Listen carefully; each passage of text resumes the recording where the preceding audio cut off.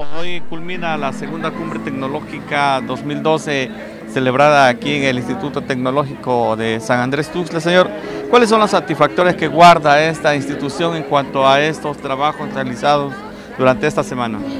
Uh, pues mira, eh, como tú dices, exactamente acabamos de terminar la sesión de,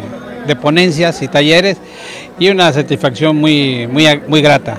derivado de esas conferencias, eh, de esta iniciativa que tuvimos para que, estas gentes nos, nos convivieran sus experiencias y cómo ellos la han hecho en sus países en el sentido de mejorar el medio ambiente, tanto en Europa, Centroamérica, como la comunidad europea y obviamente las experiencias que tenemos en México, pues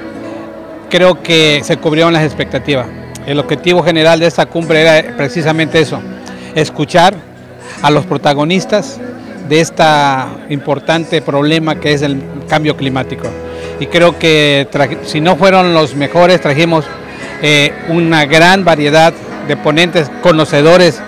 del medio ambiente y lo que está pasando y que con sus, eh, sus comentarios pues enriquecieron mucho y fortalecieron mucho el quehacer académico de aquí, de nosotros, en la zona de los Tuzla y más de los futuros ingenieros ambientalistas. Y obviamente también de los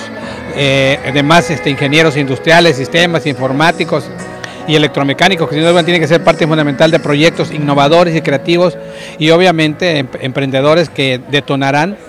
y apoyarán mucho a mejorar el cambio climático y más el que está aquí en la zona de los Tuzla. Quiero decirte que como resultados ya tenemos eh, eh, propuestas para la que la comunidad europea y el Banco Internacional de Desarrollo aporte algunos recursos que vamos a tratar de utilizar para estos proyectos detonadores con los ayuntamientos, que, eh, previamente los, los convocaré, porque vieron el talento y vieron que aquí se están haciendo las cosas bien. Iniciamos, iniciamos proyectos de investigación, obviamente únicamente con el afán de ser mejores y mejorar y contribuir